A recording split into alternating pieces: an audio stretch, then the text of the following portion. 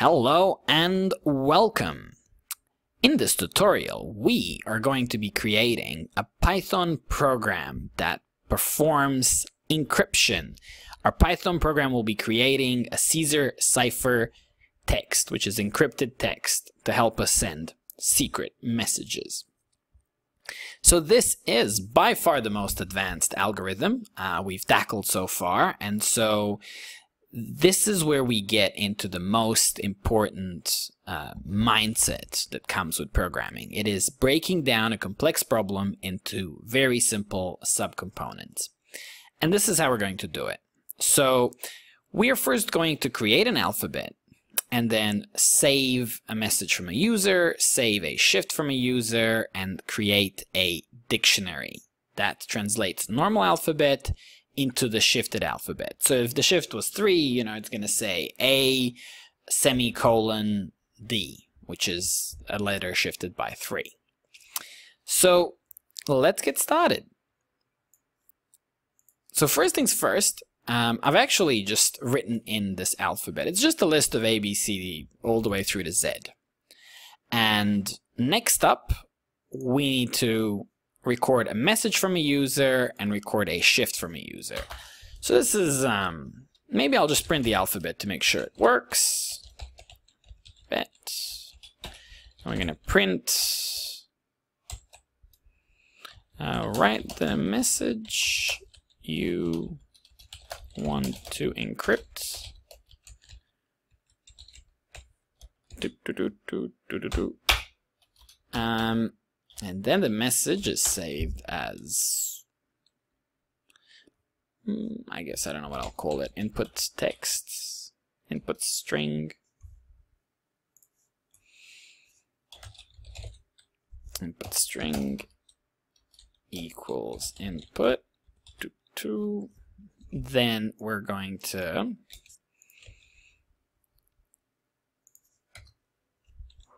what shift do you want to use?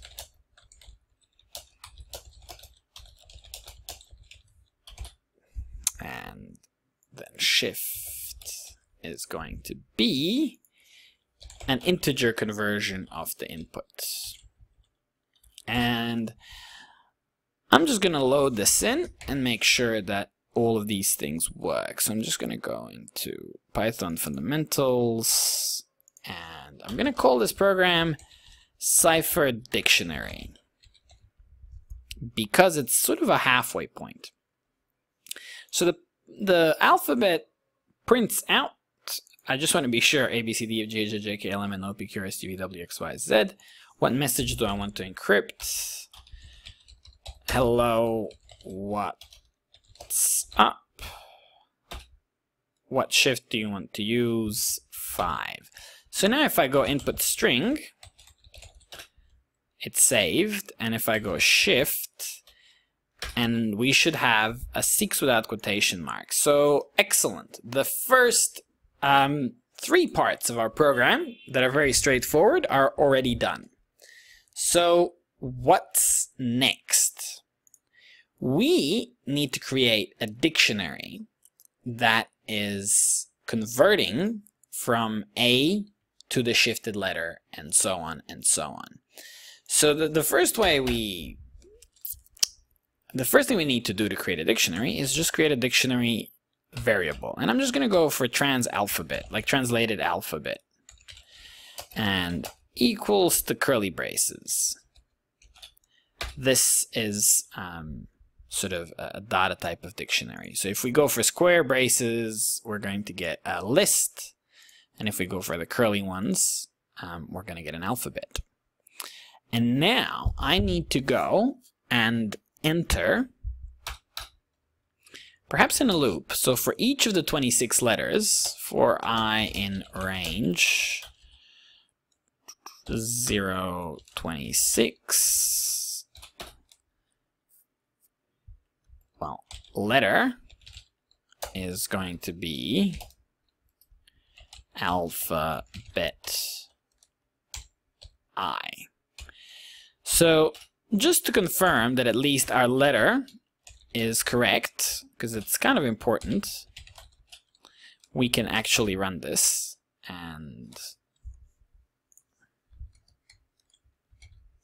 A, B, C, D, E, F, G. Good. So that's that's the sort of first part of our um, dictionary. So now what we got to do is we need to go into the alphabet, trans alphabet, and square brackets letter. So what I'm doing here is I am actually doing this. A, ta. So now I'm going to assign a value. Uh, uh, so this is, I've, I've assigned already, this is an assignment. I've assigned A as the key of the alphabet. Now I'm going to assign a value. And before we figure out this whole shift, I just want to assign even a value of, of A, perhaps. So I'm just going to go equals to alphabet I. So hopefully, what I've achieved so far is, instead of printing that, forget that, we can just print the trans alphabet.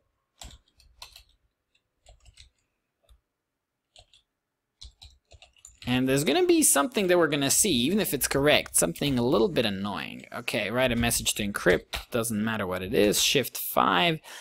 As you can see, we've achieved exactly what we wanted. W is W, L is L, everything is good, except annoyingly, um, there is no sequence here. Um, so maybe we can print it in in sequence. Maybe here we can print. Um, okay, we're going to print.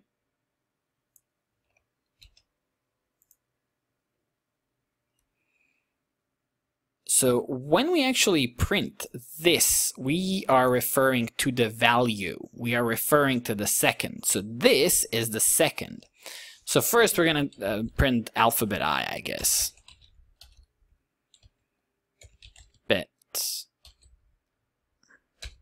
I, and all of this printing is simply there not to perform the function of the program, but just to guide us that we are on track. So printing that I'm doing here, all of this printing is testing. It's not something that we'll use in the final program. In fact, i will probably be deleting all of these lines of code. But testing is key. So just to be sure that this is what we have, pum pum, plus uh, trans alphabet letter. So this is the value, should work, F5. Okay, message, we just give them a letter, shift 5, that's it. So this is our dictionary, and now we're, we're effectively printing it. And here is a confirmation that, you know, W is W. Now let's work on this shift. So instead of saying A is A, A should be perhaps BC. C. Let's try a shift of 2. So A should be C, but we're going to go plus shift here. And yeah, we're going to enter a shift of 2 and execute this program. And we're going to see what happens. Okay. Hello, friend. Two. And we have an error.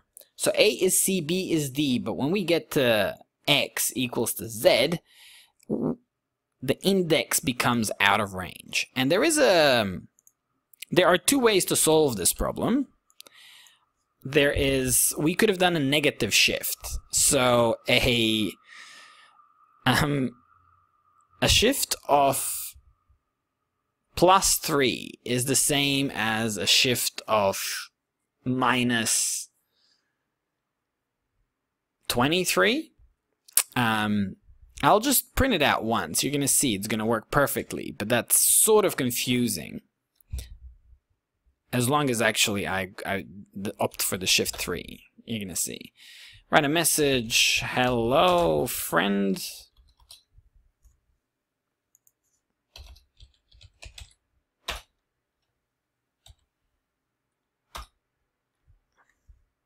So yeah, if the, with the shift of 3a will become d, and everything works. But this is not really ideal.